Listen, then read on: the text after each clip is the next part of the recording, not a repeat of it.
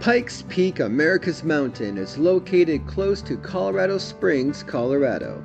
And if you're planning or thinking about seeing this gem attraction and want to know more how to visit by train, on this video I'll give you all the information and helpful tricks to have the best experience as possible, right here on Travel Tricks. Before we get started, thank you for watching this video and subscribe to my channel as I'm always sharing tricks to help you make your next vacation the best one yet. Pikes Peak at the summit is beautiful. There's many spots at the top to get that perfect picture, along with the information center to get a nice view, a bite to eat, or a nice souvenir to take home.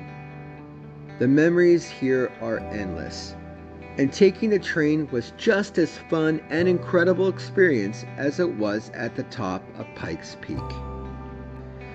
The train is called the Cog Railway.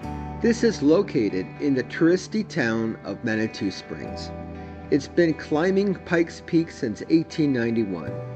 The train has been upgraded several times since its conception, and to get tickets, you can go online at cograilway.com.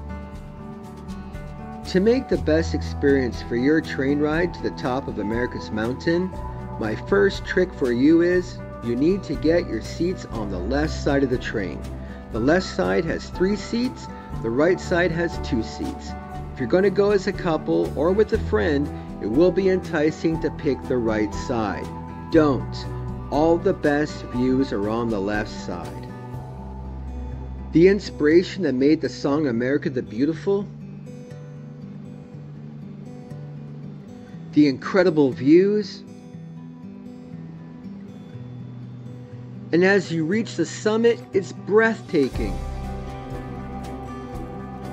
This is what you'll see on the right side as you reach the top. The seats you choose for the round trip will be the same seats and your view will be the same both ways. So your seats are important for the best views. The next important step is where to park your car. Whether you're visiting and you've rented a car or you've driven from afar, when you take the COG Railway, you need a place to park. Now there is paid parking across from the COG Railway Station. Another trick I'll share with you is you can only park here up to 30 minutes before your train is scheduled to leave.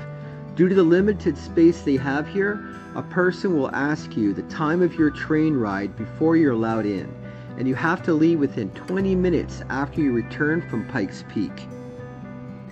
And my last trick to share, when you go is your choice. Some like to sleep in and go later in the day, but the best time is early morning. No guarantees your weather will be perfect the day you selected, but generally the mornings here are the clearest time. When I went, the skies were blue and clear. By the time I returned, dark clouds were coming over the mountains, and the second group would not have the same view I was lucky to see. So, if you get the first train of the day, you'll have a better chance of a good parking spot and clear skies. Thank you for watching this video and I hope you check out all my helpful videos for Colorado Springs, where to stay, or where to find your rental car at the Denver airport by subscribing to my channel, Travel Tricks, as I'm always sharing tricks to help you make your next vacation the best one it can be. Thank you.